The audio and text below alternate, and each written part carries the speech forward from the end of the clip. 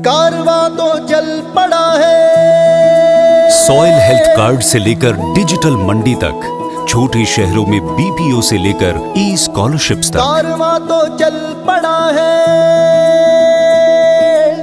हाथ बढ़ा के तू भी चल। हॉस्पिटल में ऑनलाइन अपॉइंटमेंट से लेकर टेली मेडिसिन तक। सबके पास है